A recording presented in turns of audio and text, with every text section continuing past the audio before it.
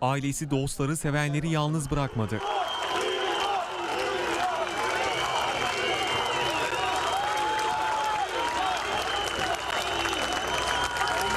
12 yıl aradan sonra İmparator tekrar sahnede.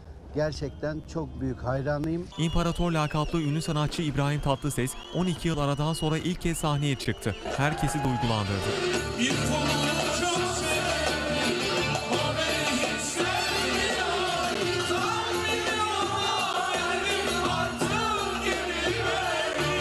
Uzun yıllardır sağlık sorunları nedeniyle sahnelerden uzak kalan İbrahim Tatlıses, hayranlarıyla Kuruçeşme açık havada yeniden bir araya geldi.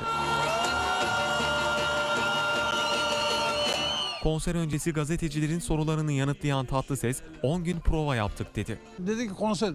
Ne canlı konser nasıl olacak? 10 gün beni provada yedirip bitirdiler. 10 gün prova yaptık.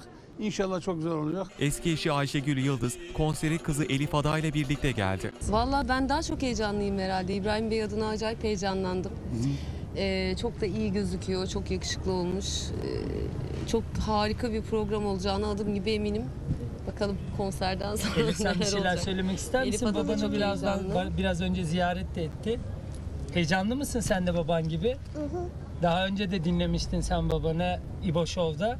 En sevdiğin şarkısı nedir İbrahim Tatlıses'in? Dom dom. İbrahim Tatlıses'in yakın dostları Aydemir Akbaş, Şafak Sezer, Gülben Ergen de konsere gelenler arasındaydı. Çok güzel e, bir dinleyicisi var. Yani imparator olunmuyor, doğuluyor gerçekten. Tabii ki canım. Hepimizden daha çok o özledi aslında sahnede olmayı.